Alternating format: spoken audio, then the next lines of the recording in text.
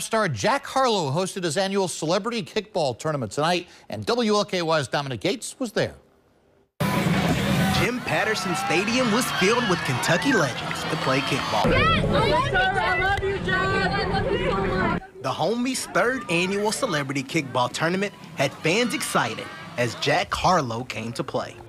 I'm so excited. You know, the great Taylor Rooks is hosting this, and my brother Ace Pro put this together.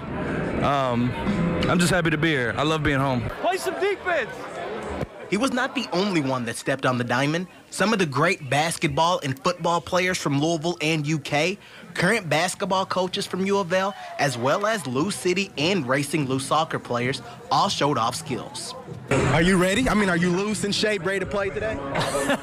I'm in good basketball shape. I'm not sure if I'm in good kickball shape. I'm gonna try to stretch, man. Uh, my, my goal is not to pull some, do some long bases, man. I don't know how these baseball players just do this all the time. Kentucky always have a, a place in my heart, you know, even though we're in Louisville.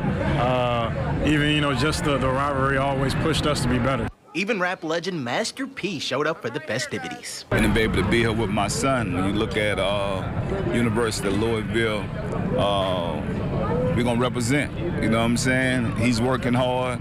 And I, I, just can't wait for this year to start and just to be a part of the community. Now, this event was mainly just about having a good time and playing a little bit of kickball, but most importantly, they wanted to bring the community together and have a little fun because that's what it's all about.